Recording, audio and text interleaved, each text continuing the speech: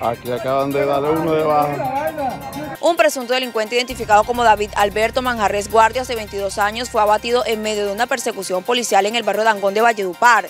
El hoy fallecido, según las autoridades, acababa de cometer un hurto a una mujer. El hecho además dejó dos menores aprendidos y un capturado. Aproximadamente a la 1 y 45 horas, eh, dos unidades de, civil, vamos a dejarlo ahí, dos unidades de, civil están atendiendo un caso donde se genera un hurto a una motocicleta.